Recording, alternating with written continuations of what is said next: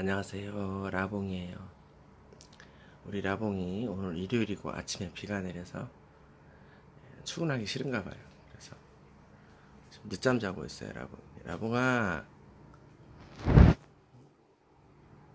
우리 라봉이 토요일이든 일요일이든 공휴일이든 쉬지 않고 출근해서 일하는데 오늘은 비도 오고 그래서 피곤했나 봐요. 그래서 오늘 출근 늦게 하기로 했어요 라봉아 몇 시에 출근할 거야?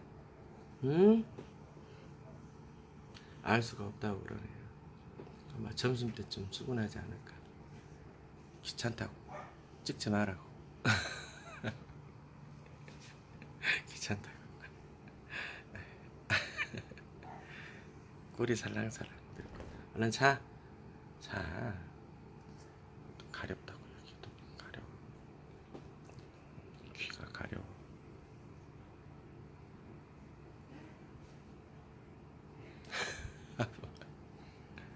얼른 자, 라봉.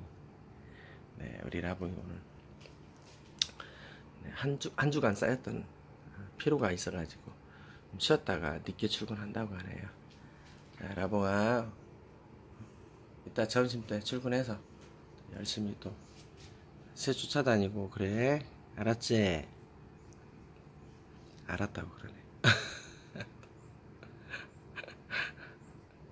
비 오는 날에는 새 없는데.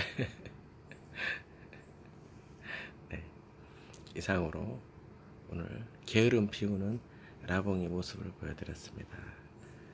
감사합니다. 라봉 얼른 인사해. 얼른. 감사합니다.